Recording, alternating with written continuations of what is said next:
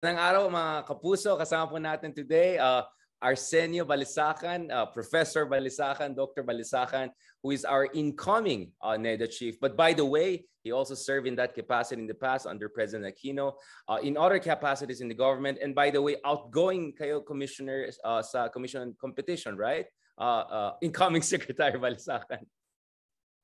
Good morning, everyone. Good morning. Yeah, so just to clarify, uh, paalis rin kayo sa competition commission, no? So maybe we'll talk about that also first before we go to ano po yung trabaho ng NEDA kasi alam natin yung mga ating mga kabayan, kababayan medyo siguro familiar sa foreign affairs, sa finance, etc.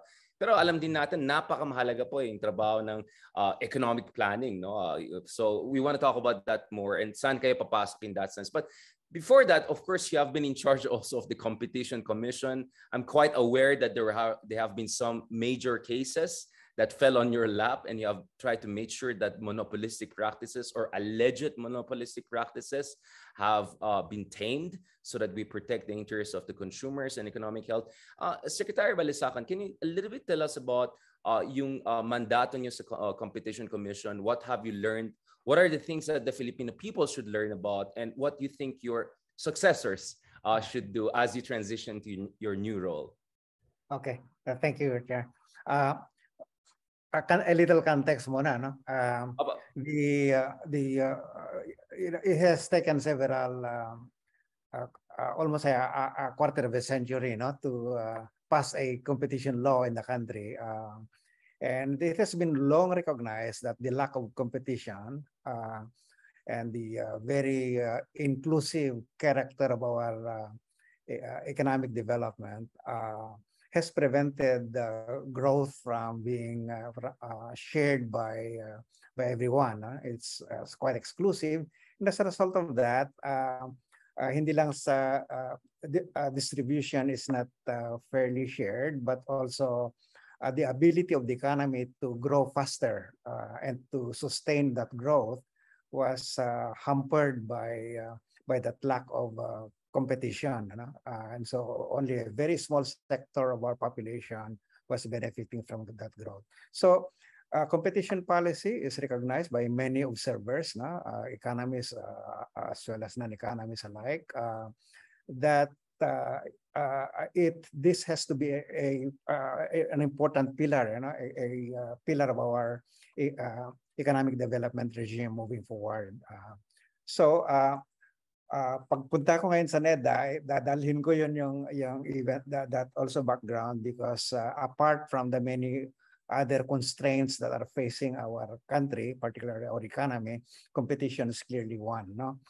Uh, of course, uh, the lack of competitiveness of our industries, the lack, the uh, poor quality of our uh, economy to generate quality jobs uh, has to do with uh, with other things, like the cost of doing business, poor governance, and so on. No? So it, the work of NEDA is essentially to uh, formulate the, the development strategy, uh, both the near term, the medium term, and the long term uh, for the country and advise the president uh, and the NEDA board, uh, uh, which is chaired by the president and on these matters. No? Um, so in essentially, the major economic decisions are, are shepherded by NEDA to the cabinet and, and approved by, by the president uh, what is known publicly about NEDA is its uh, approval process of big projects, no? But that is only a small part, uh,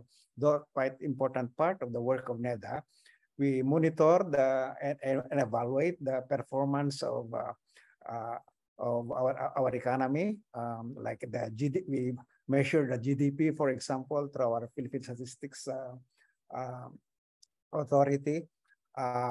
we evaluate uh, the efficacy, efficiency of, uh, of programs and strategies and policies and recommend to the president for any uh, changes in such policies. And more importantly, and this is where I would want to bring in again to uh, NEDA, is to uh, to to get this planning process, this this this development process, strate strategic planning for development uh, nationwide. No, um, as you know, uh, the, the uh, uh, nearly 60% of our GDP is just in Manila and neighboring areas, no? And obviously the potential of the economy is much more than that, especially across the, uh, the regions in the Visayas and the Mindanao. And so we want to make sure that this uh, the, the growth in the leading regions uh, are uh, are felt and are, and are, are, um, are cascaded, you know, to the lagging regions so that uh, growth will be truly inclusive. The, it's the, the point here is that the outcomes of uh, of development are equitably shared, not necessarily the uh, concentration of production, because obviously some areas need to uh, to grow faster than others simply because of their advantages, geographic or otherwise. But the benefits of that growth must be shared uh, uh, uh, equitably. And, and uh, that means that uh, our various areas need to be connected efficiently and ayun, so yun ang first description that uh, Uh, Sige bali sa akin, um, of course, kami mga taga-UP, kilala namin kayo bilang uh, dun sa background niyo sa agriculture, agriculture economics, development economics. Uh, the incoming President Ferdinand Marcos Jr. also said that that was one of the things that you discussed a lot uh, during his time as governor of, of Ilocos. And that now, as the president of the Philippines, he looks forward uh, in terms of tapping your expertise in pushing for agricultural development. Can you tell us a little bit about your background? How did you become such a prominent figure in the agricultural development sector or economics? And any background you with President Marcos in the past that you think will help you in terms of coordinating the agricultural development sector? And sorry to also say this, bakit ito mahalaga sa ating ekonomiya? Dahil I think there's a big misconception out there that, oh, agriculture pang ano na yan, eh, 20th century na yan, 21st tayo, dapat knowledge-based economy, information technology. Why is agriculture still very important for Philippine economic development? I think that's a very, very uh, good question, Richard, because there is a very um, misunderstanding uh, uh, uh, um, of the role of agricultural development in the development process. No? Uh, but let me start with your first question of where I am coming from. Uh, oh, I started as an agriculture specialist. I, I, I, I, completed my undergrad in agriculture, but my interests then were more on the, you know, asking questions like why are our farmers poor? Why there's so much poverty? In, um, Bakit, Secretary? Bakit agriculture? Is it your family background that, that influenced that decision or interest? Well, it, it is. My my my parents were initially uh, rice tenants, uh, and we grew up from uh, eh, from uh, in agricultural uh, communities. Uh, and Batac. when I, Batac, no? yes, uh, Nosolsona, it's in, in, the easternmost part of Ilocos Norte. Right, right. Uh, but then eventually, when I get to college, I received a scholarship, uh, uh, and that uh, was a scholarship for agriculture. So that's how I ended up uh, in in Batac. But then my interest is really on broader development issues as I um, went through uh, to college, my exposure with so many uh, uh, fora and, uh, and, and you know uh, traveling around uh, rural areas. And so when I went to graduate school, I increasingly shifted to initially to agricultural economics and eventually to full to development economics, economics in general. So that's how I ended up looking at this um, uh, agriculture. No, so my interest really is on development, uh, economic development, but uh, but the uh, the role of agriculture in the development process is so misunderstood. And if you look at uh, uh, any successful countries that are not initially, you know, um, a city-state like Singapore, you need a very robust um, agricultural economy to succeed in in in manufacturing and in services and the overall economy. And the reason is there is very simple. Mm.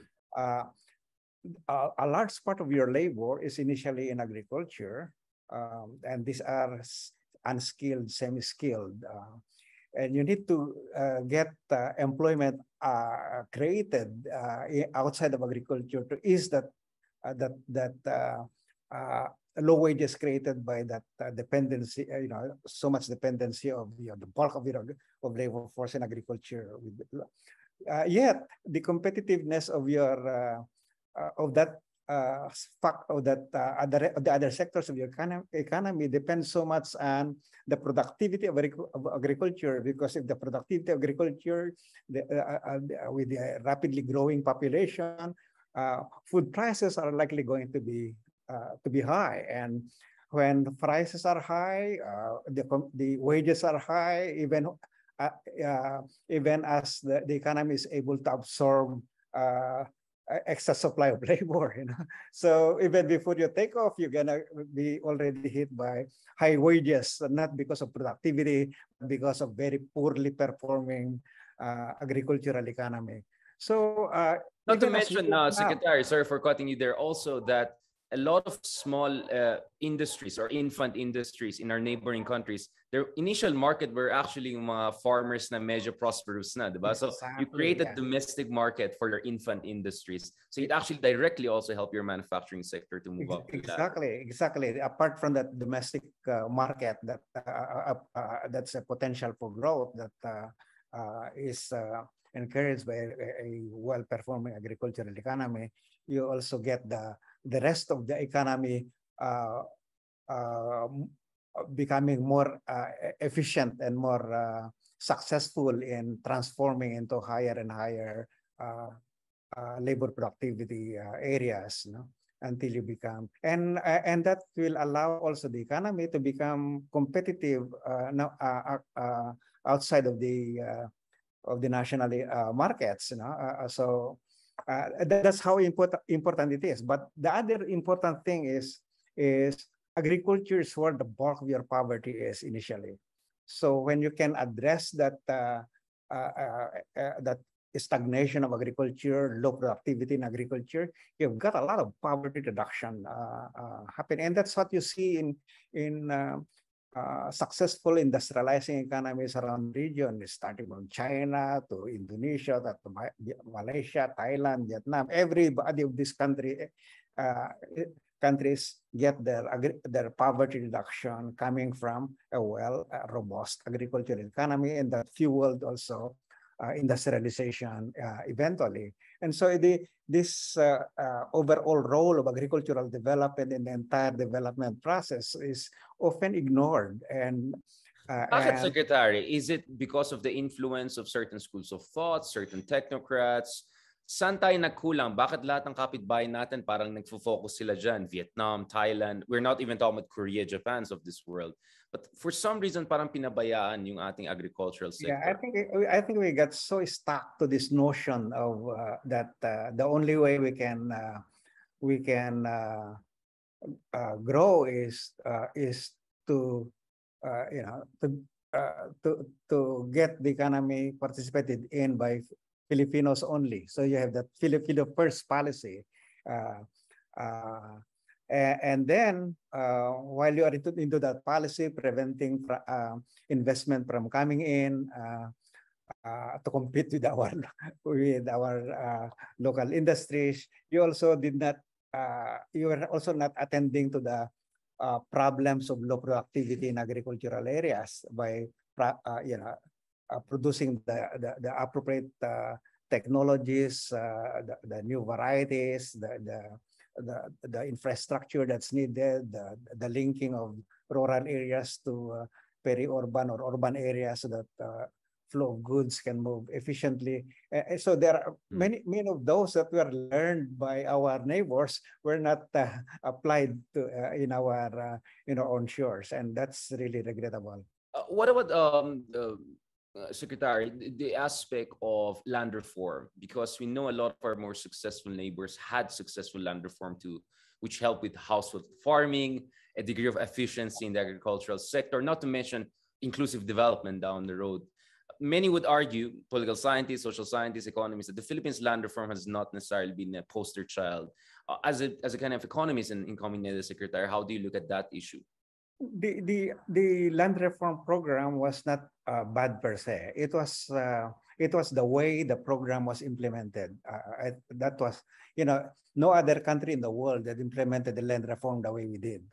We took uh, almost a half century, you know, to to to to and still ongoing unfinished business. You know, uh, that uh, led to this uh, uh, level of, uh, of uncertainty in, in, in rural, areas. And in the meantime, you crippled the uh, land markets in, in rural areas. Because what, what happened was we, government took in big lands, all right?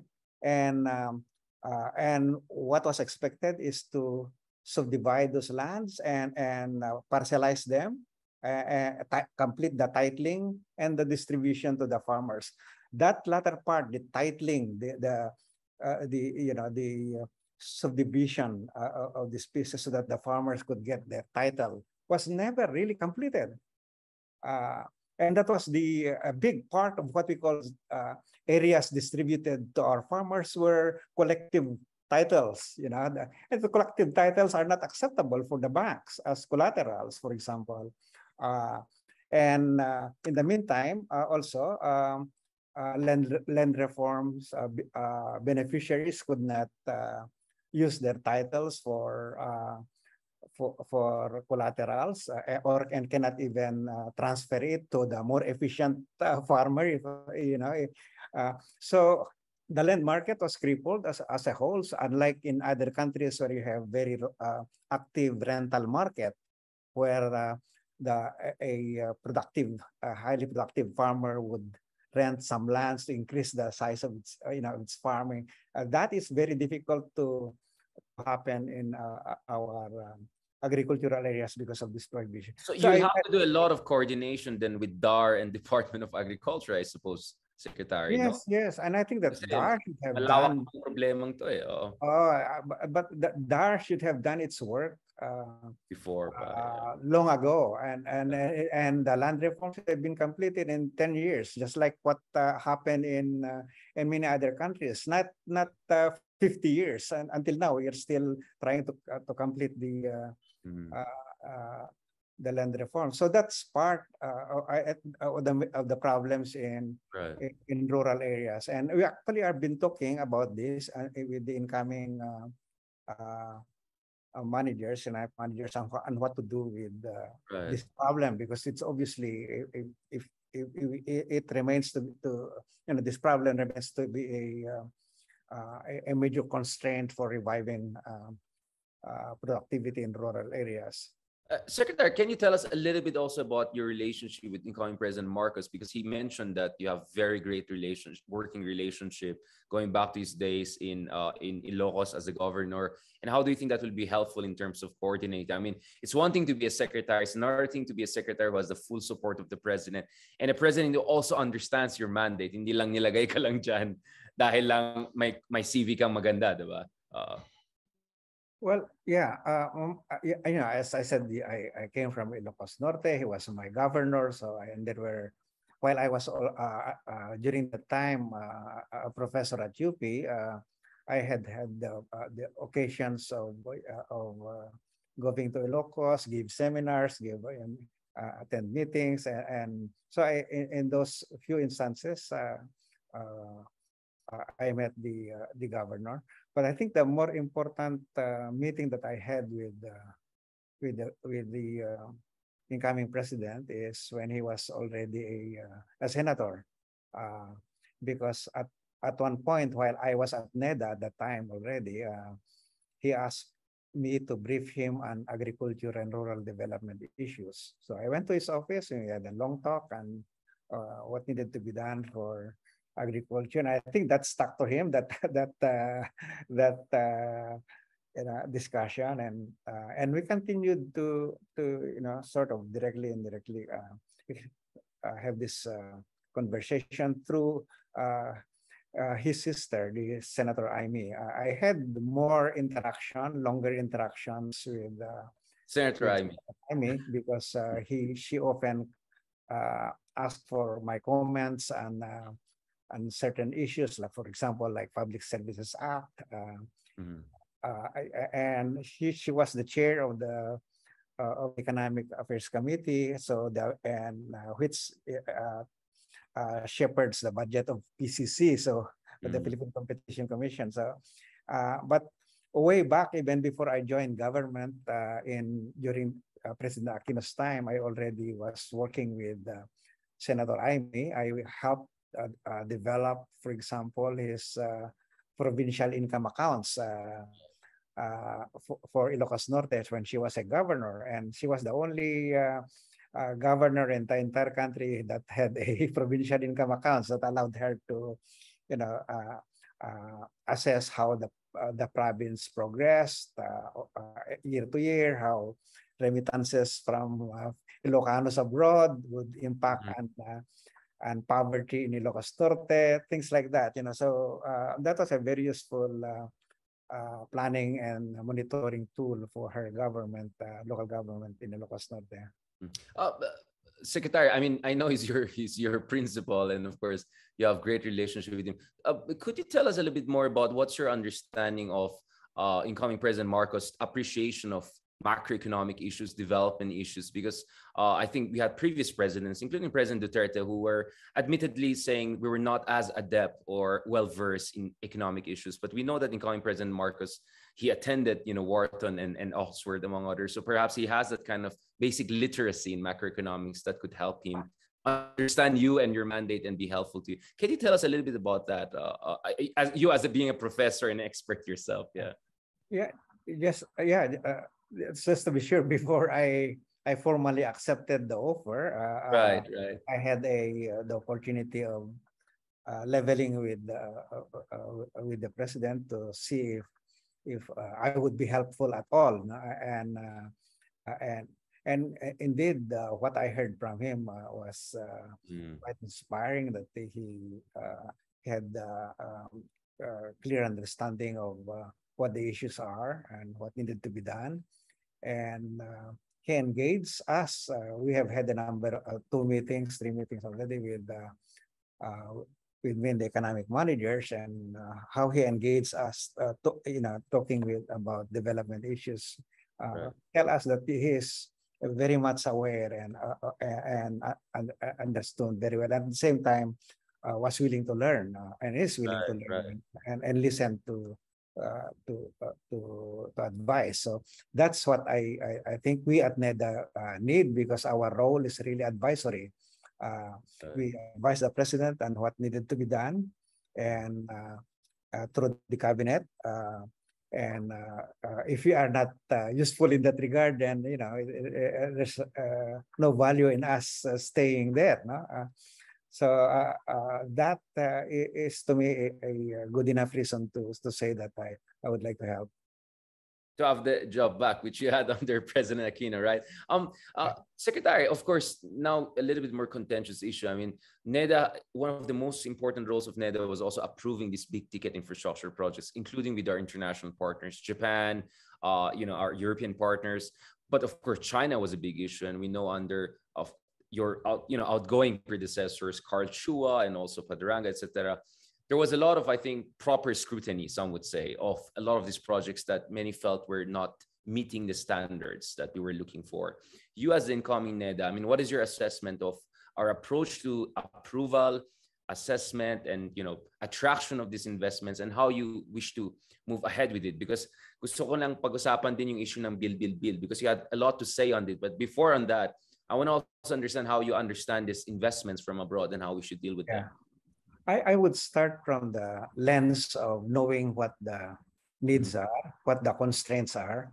And as I dis- described earlier, uh, uh, what is critical is how we see the various sectors the, of the economy uh, reinforcing each other.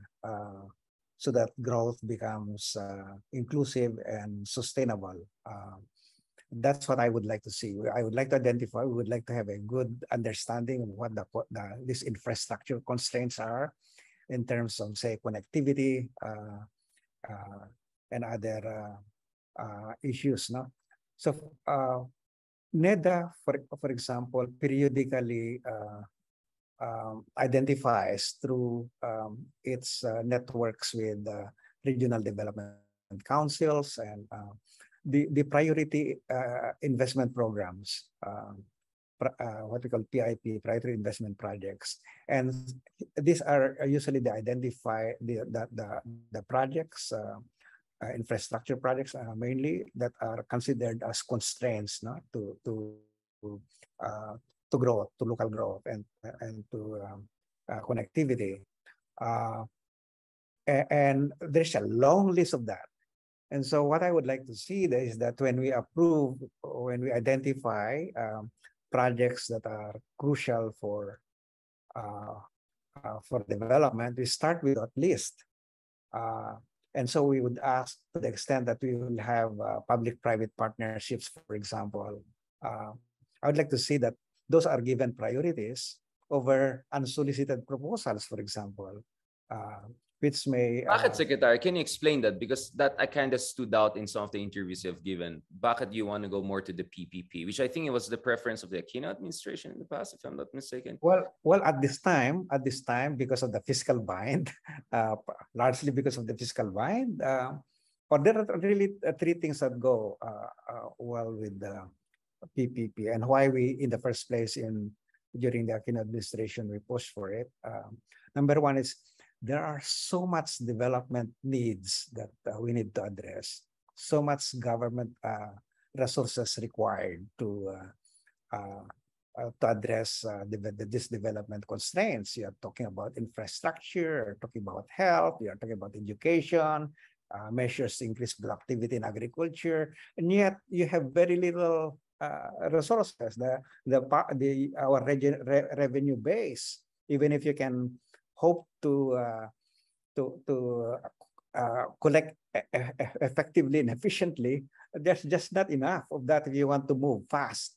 The question is moving fast, catching up with our neighbors in, in one generation, not in you know two or three generations, right? And that can be done, as what uh, has been shown uh, by our neighbors. So uh, that means that we really need to uh, complement these uh, uh, revenues from government with other capital sources. Like, of course, we have borrowing is another one. Uh, can always borrow from bilateral and multilateral sources.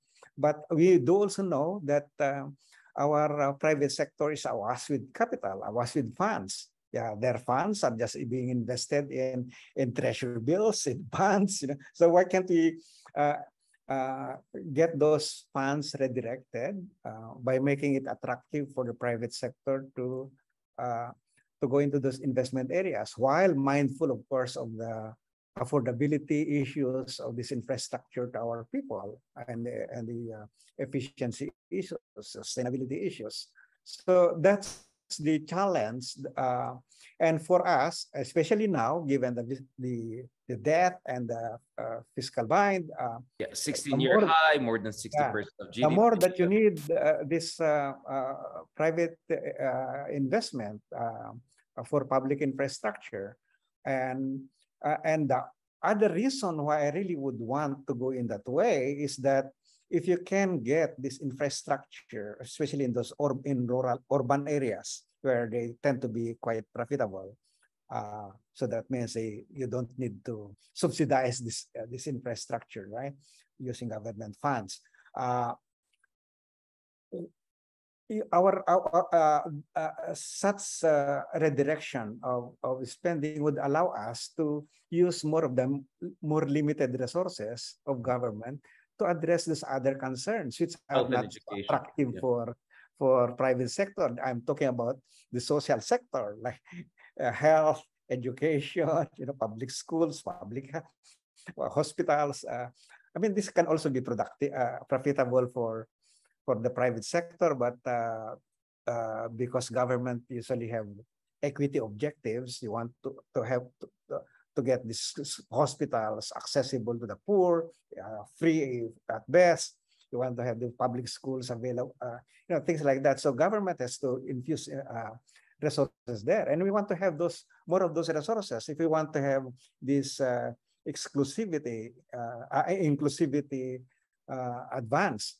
Uh, for it is really what I really would want to see is this this um, expansion, rapid expansion of opportunities, uh, especially among the low income groups, and that you can do if you address these issues of where that uh, lack of opportunities was coming uh, from and that start with basic education basic health basic you know so human capital no investment right human capital, capital. so I, would, I, I would really want to to have mm-hmm. that human capital address because i think we must admit we are we are in crisis when, when it comes to right to health when it comes education to education yeah, yeah.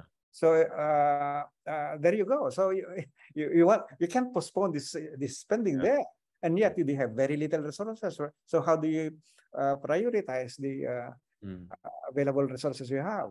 Secretary, sorry for cutting you there. I mean, you work in the Aquino administration as NEDA, and you're coming into this administration also as NEDA. Now, in, in between, we saw some shift in modality from PPP to much more public finance driven.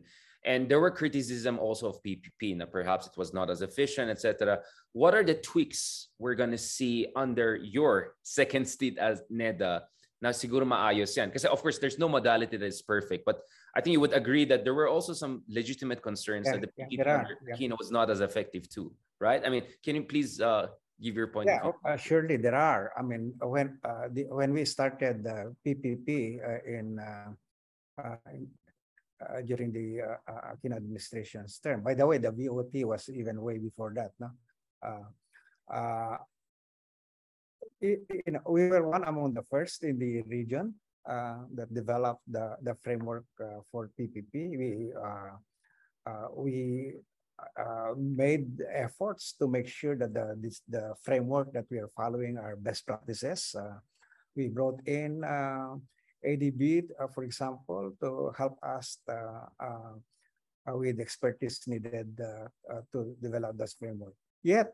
of course, Meaning, Secretary, no corruption, sustainable environmentally, fiscally, when we say this, kasi I think people have to appreciate na siguro medyo bumagal yung infrastructure development under Aquino dahil kailangan linisin, kailangan ayusin para hindi kurakot yung mangyari. Yeah. yeah. So, uh, so obviously, uh, there, uh, as I said, we, uh, we're just laying the groundwork uh, for PPP, and uh, and despite that, we were able to ro ro roll uh, uh, uh, of many of these these projects. But there are, or we expect to to improve the processes as we go along, as we learn, and I. and rightly, the the current administration uh, saw some some problems and we need to fix those like uh, for example the uh, contingent liability issue uh, that has to be uh, to uh, to be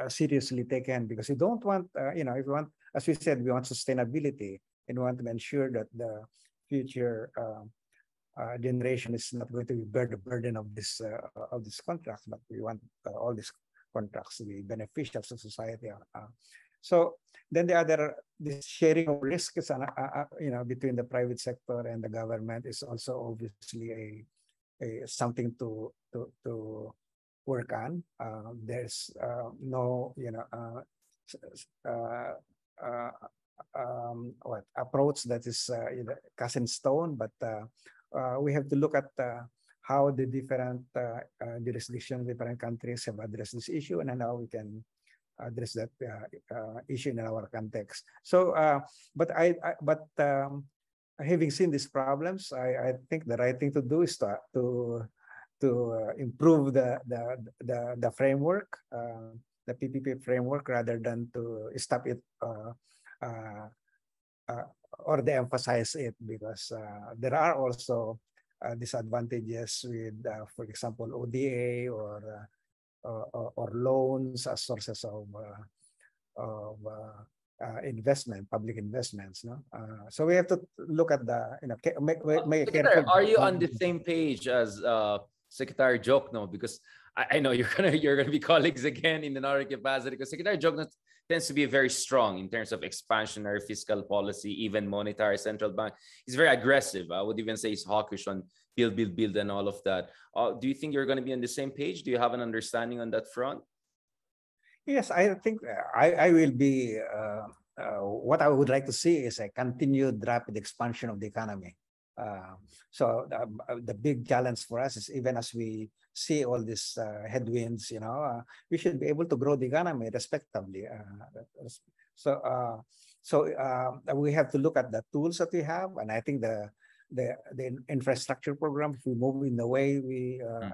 just describe it, can can still be an important driver of of growth but uh, I think we have to uh, aggressively engage our uh, the private sector in right. this regard and then um, address these issues and the scarring of the uh, our economy and the social sector. Uh, yung labor sector lalo no marami labor na sector, trabaho. Yeah. The yeah. MSMEs for example, right. you know, yeah. they were badly hit uh, and and the problem is that uh, for this sector it's so once they're out uh, it's extremely difficult to get them back. And so unless you government comes in strongly, you know, and uh, and assist them get back to their feet. Yeah, you, you'll be waiting for for for years, decades, uh, uh, instead of uh, in the next two or three years. So that's what we would like to see, and that means really refocusing, retargeting the limited resources that we have, so that we can achieve more with less.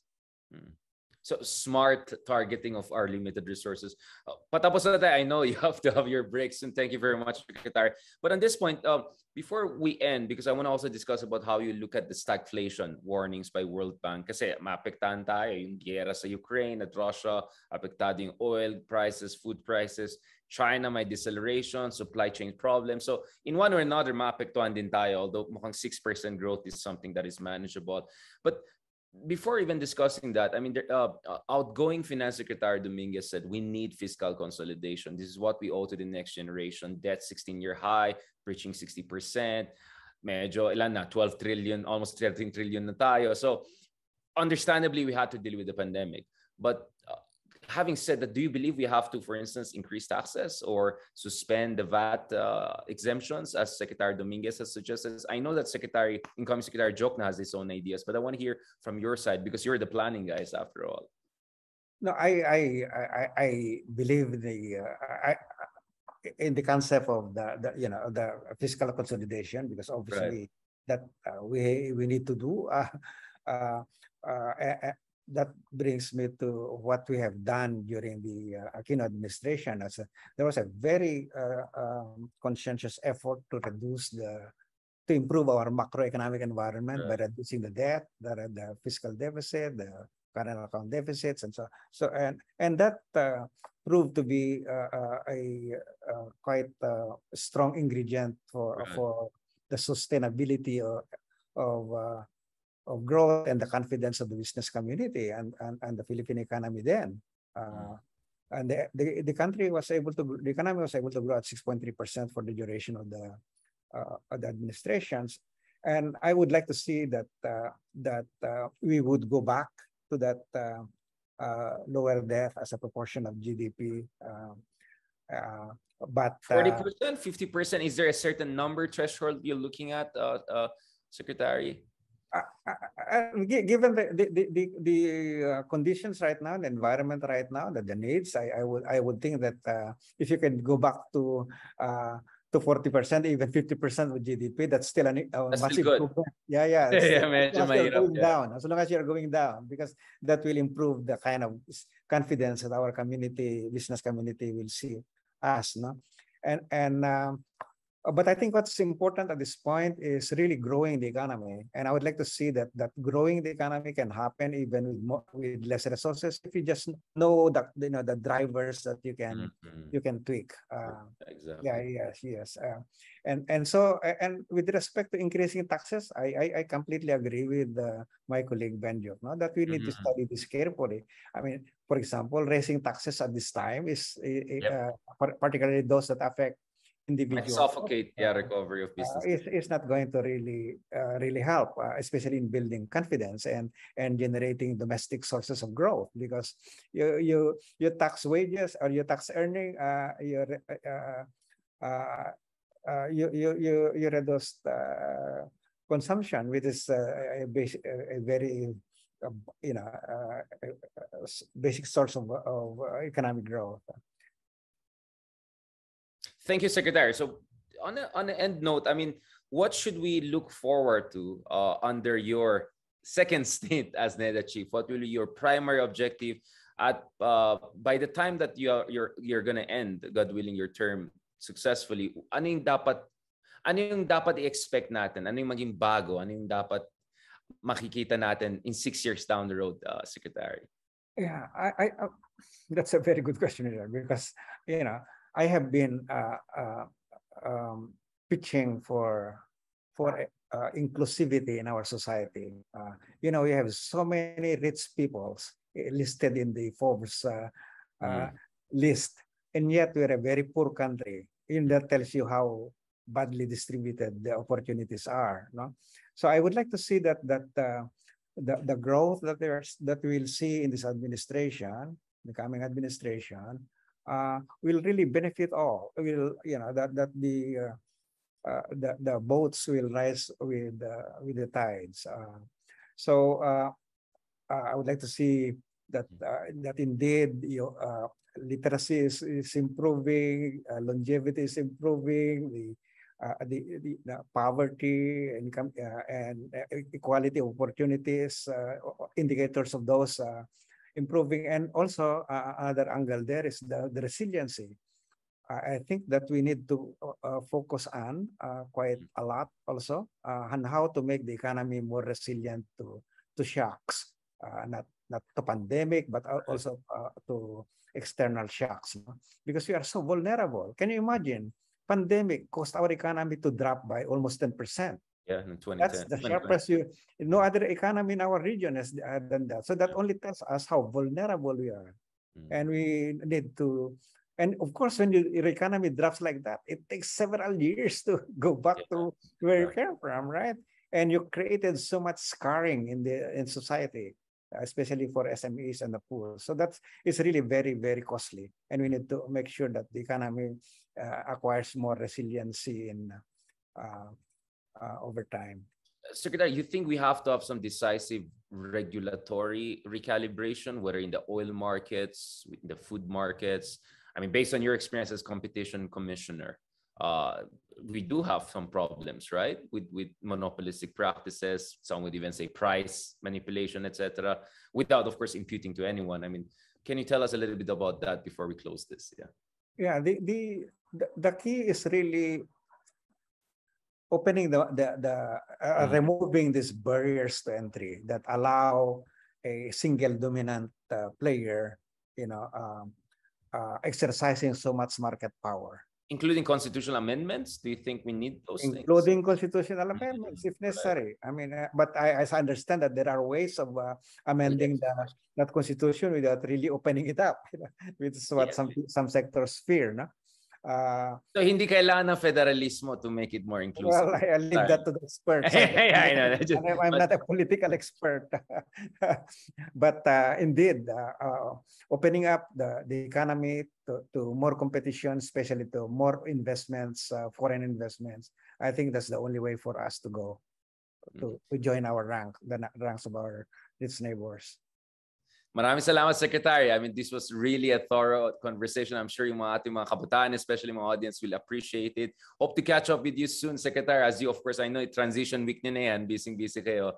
But I hope we'll catch up even on a better note in terms of your policy and also look at how we're heading under the new administration. Maraming salamat. God bless, Secretary. And maraming salamat sa ating mga kapuso for joining us today for this very thorough, interesting conversation with Secretary, incoming Secretary uh, and former Secretary of National Economic Development Authority, Professor Dr. Uh, Arsenio Balisacan. Maraming salamat, sir. Thank you very much, Chair.